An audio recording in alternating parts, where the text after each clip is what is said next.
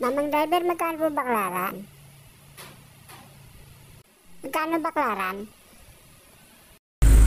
Ay, hindi ko po alam. Hindi ko po alam kung binibenta ang baklaran. Ang alam ko, yung Invisoria na ibenta na ni Isko.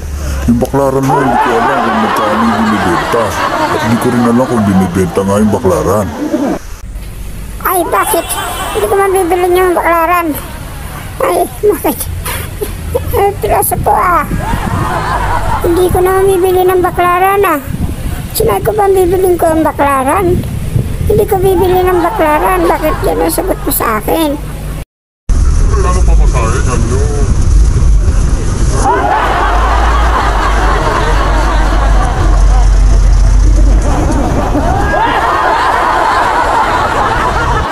Sabihin po, magkano po masahe? Hindi ko sabihin niyo, magkano ang bakla?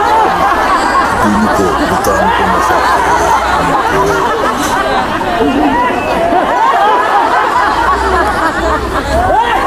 Next time po, sabihin niyo, magkano po masahe?